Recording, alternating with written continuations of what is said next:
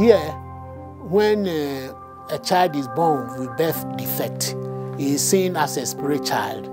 That child might be killed because it's a sign of bad omen. I remember that, like, if I had be with my family, I would have been killed.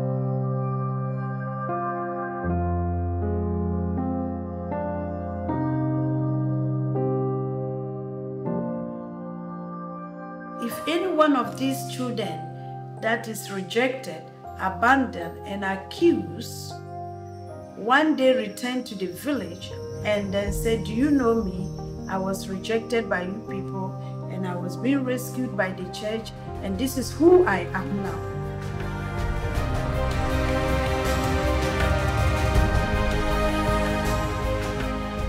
I think that it will be a way of a turning point for them to stop that tradition and return to God.